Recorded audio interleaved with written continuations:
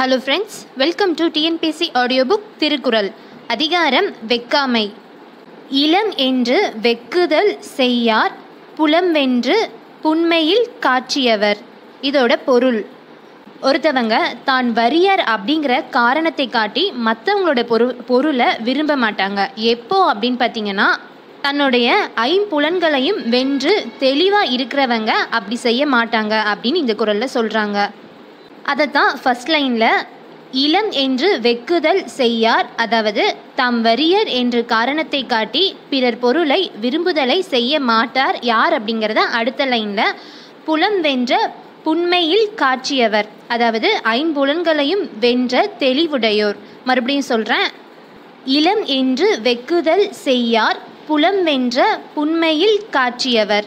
அடுத்து அக்காமை செல்வத்திற்கு யாதெனின் வெக்காமை வேண்டும் பிறன்கை பொருள். இதோட பொருள். ஒருத்தவங்களுடைய செல்வம் குறையாம இருக்கிறதுக்கு வழி என்ன அப்படின்னு பார்த்தீங்கன்னா அவங்க மற்றவங்களுடைய கைப்பொருளை விரும்பாதிருத்தலே அவங்களோட செல்வம் குறையாமல் இருக்கிறதுக்கான வழி இதைத்தான் ஃபஸ்ட் லைனில் அக்காமை செல்வத்திற்கு யாதெனில் அதாவது ஒருவருடைய செல்வம் குறையாமல் இருக்க வழி எது என்றால் அடுத்த லைனில் வெக்காமை வேண்டும் பிறன் கைப்பொருள். பொருள் அதாவது அவர் பிறருடைய கைப்பொருளை விரும்பாதிருத்தல் ஆகும் மறுபடியும் சொல்கிறேன் அக்காமை செல்வத்திற்கு யாதெனின் வெக்காமை வேண்டும் பிறன் கைப்பொருள். பொருள் அதிகாரம் புலான் மறுத்தல். திணல் பொருட்டால் கொல்லாது உலகு எனின் யாரும் விலை பொருட்டால் ஊன் தருவார் இல். இதோட பொருள். இந்த உலகத்தில் வருவாய்க்காக ஊன் விற்பவர்கள் இருக்க மாட்டார்கள். எப்போ அப்படின்னு பார்த்தீங்கன்னா சாப்பிட்றதுக்காக மற்ற உயிர்களை கொள்பவர்கள் இல்லை அப்படின்னா அந்த டைமில் வருவாய்க்காக ஊன் விற்பவர்களும் இருக்க மாட்டார்கள் அப்படின்னு இந்த குரலில் சொல்கிறாங்க அதை தான் முதல் லைனில் திணல் பொருட்டால் கொல்லாது உலகு எனில் அதாவது உலகத்தார் புலான் தின்னும் பொருட்டு உயிர்களை கொள்பவர்கள் இல்லையாயில் அடுத்த லைனில் யாரும் விலை பொருட்டால் ஊன் தருவார் இல். அதாவது வருவாயின் பொருட்டு ஊன் விற்பவர் யாரும் இருக்க மாட்டார் அப்படின்னு சொல்கிறாங்க மறுபடியும் சொல்கிறேன் திணல் பொருட்டால் கொல்லாது உலகு எனில் யாரும் விலை பொருட்டால் ஊன் தருவார் இல். அடுத்து அதிகாரம் வெகுளாமை.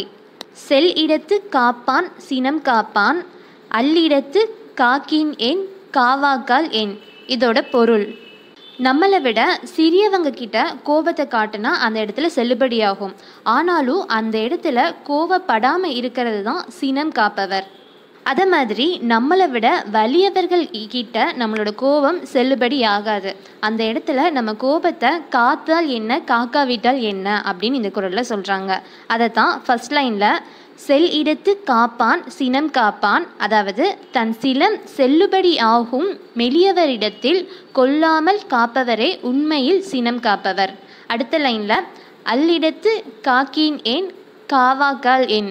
அதாவது செல்லுபடி ஆகாத வலியவரிடத்தில் காத்தால் என்ன காக்காவிட்டால் என்ன அப்படின்னு சொல்கிறாங்க மறுபடியும் சொல்கிறேன் செல்லிடத்து காப்பான் சினம் காப்பான்.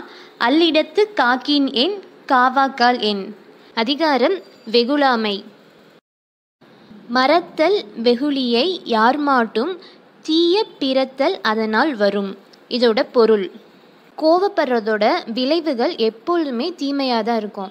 அதனால் யார்கிட்டையும் சினம் கொள்ளாமல் அதாவது கோவப்படாமல் அதை மறந்து விட வேண்டும். அதுதான் நல்லது அப்படின்னு இந்த குரலில் சொல்கிறாங்க அதை தான் ஃபஸ்ட் லைனில் மறத்தல் வெகுளியை யார் மாட்டும்? அதாவது யாரிடத்திலும் சினம் கொள்ளாமல் அதை மறந்துவிட வேண்டும். அடுத்த லைனில் தீய பிறத்தல் அதனால் வரும். அதாவது தீமையான விளைவுகள் சினத்தாலேயே ஏற்படும் அப்படின்னு சொல்கிறாங்க மறுபடியும் சொல்கிறேன் மறத்தல் வெகுளியை யார் மாட்டும்?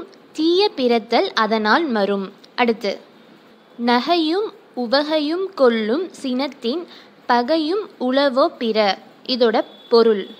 கோவப்படுறதால அதாவது சினம் சினம்னால முகமலர்ச்சியும் அகமலர்ச்சியும் கொள்கின்றது. அதனால் அந்த சினத்தை விட நமக்கு வேறு பகை எதுவும் இல்லை அப்படின்னு இந்த குரலில் சொல்கிறாங்க அதை தான் ஃபஸ்ட் லைனில் நகையும் உவகையும் கொள்ளும் அதாவது முகமலர்ச்சியையும் அகமலர்ச்சியையும் கொள்கின்ற அது என்ன அப்படிங்கிறத அடுத்த லைனில் சினத்தின் பகையும் உளவோ பிற கொள்கின்ற சினத்தை விட நமக்கு வேறு பகை இல்லை அப்படின்னு சொல்கிறாங்க மறுபடியும் சொல்கிறேன் நகையும் உவகையும் கொள்ளும் சினத்தின் பகையும் உளவோ பிற. அதிகாரம் வெகுளாமை. தன்னைத்தான் காக்கின் சினம் காக்க காவாக்கால் தன்னையே கொள்ளும் சினம். இதோட பொருள். ஒருத்தவங்க தன்னை தானே காத்துக்கொள்ளணும் அப்படின்னு சொல்லிட்டு விரும்புகிறாங்க அப்படின்னா முதல்ல அவங்க சினம் வராமல் காத்துக்கொள்ள வேண்டும். அப்படி சினம் வராமல் காக்கா விட்டால் அதாவது சினம் வந்துருச்சு அப்படின்னா அந்த சினமே அவங்கள அழித்து விடும் ஏன்னா அந்த சினம் கோபத்துக்கு ஒருத்தவங்களை அழிக்கிற அளவுக்கு தன்மை இருக்குது அப்படின்னு இந்த குரலில் சொல்கிறாங்க அதைத்தான் ஃபர்ஸ்ட் லைனில் தன்னைத்தான் காக்கின் சினம் காக்க. அதாவது ஒருவர் தன்னைத்தான் காத்துக்கொள்ள விரும்பினான் சினம் வராமல் காத்துக்கொள்ள வேண்டும். அடுத்த லைனில் காவாக்கால் தன்னையே கொள்ளும் சினம். அதாவது காக்காவிட்டால் சினம் நம்மையே அழித்துவிடும். மறுபடியும் சொல்கிறேன் தன்னைத்தான் காக்கின் சினம் காக்க காவாக்கால் தன்னையே கொள்ளும் சினம். அடுத்து சினம் என்னும் சேர்ந்தாரை கொல்லி இனம் என்னும் ஏமம் புனையை சுடும். இதோட பொருள்.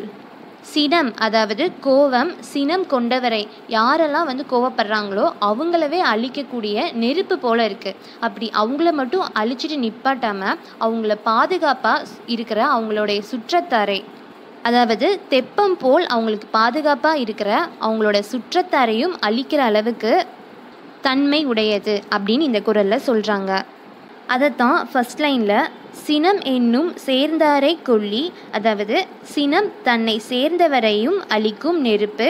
அடுத்த லைனில் இனம் என்னும் ஏமம் புனையை சுடும் அதாவது அது ஒருவரது சுற்றம் என்னும் பாதுகாப்பு தெப்பத்தையும் சுட்டளிக்கும். மறுபடியும் சொல்கிறேன் சினம் என்னும் சேர்ந்தாரை கொல்லி இனம் என்னும் ஏமம் புனையை சுடும். அதிகாரம் உள். நுண்ணிய நூல்பல கற்பினும் மற்றும் தன் உண்மை அறிவே மிகும். இதோட பொருள். ஒருத்தவங்க நுட்பமான நூல்கள் பலவற்றை கற்றிருந்தாலும் அவங்களுடைய இயல்பாக இருக்கிற அறிவே இதைவிட மேலோங்கி தோன்றும் அப்படின்னு இந்த குரலில் சொல்கிறாங்க அதைத்தான் ஃபஸ்ட் லைனில் நுண்ணிய நூல்பல கற்பினும் அதாவது ஒருவர் நுட்பமான நூல் பலவற்றை கற்றிருந்தாலும் அடுத்த லைனில் மற்றும் தன் உண்மை அறிவே மிகும். அதாவது அவருக்கு இயல்பாக உள்ளதாகும் அறிவே மேலோங்கி தோன்றும் அப்படின்னு சொல்கிறாங்க மறுபடியும் சொல்கிறேன் நுண்ணிய நூல்பல கற்பினும் மற்றும் தன் உண்மை அறிவே மிகும்.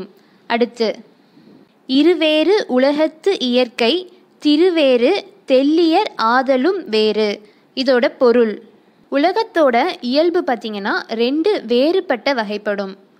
அதாவது செல்வம் உடையவர்கள் அறிவுடையவராக இருப்பதில்லை. அதை மாதிரி தெளிந்த அறிவுடையோர் செல்வம் உடையவராக இருப்பதில்லை. அதுதான் உலகத்தோட இயல்பு இரு வேறுபட்ட வகைப்படும் அப்படின்னு சொல்கிறாங்க அதைத்தான் ஃபஸ்ட் லைனில் இரு வேறு உலகத்து இயற்கை அதாவது உலக இயல்பு இரு வேறு வகைப்படும். அடுத்த லைனில் திருவேறு தெல்லியர் ஆதலும் வேறு. அதாவது செல்வம் உடையவர் அறிவுடையவராக இருப்பதில்லை தெளிந்த அறிவுடையோர் செல்வம் உடையவராக இருப்பதில்லை. மறுபடியும் சொல்கிறேன் இருவேறு உலகத்து இயற்கை திருவேறு தெல்லியர் ஆதலும் வேறு. Thank you friends for listening to TNPSC audio book உங்களுக்கு இந்த வீடியோ பிடிச்சிருந்துச்சுன்னா லைக் பண்ணுங்கள் சப்ஸ்கிரைப் பண்ணுங்கள் and also bell button press பண்ண மறந்துடாதீங்க.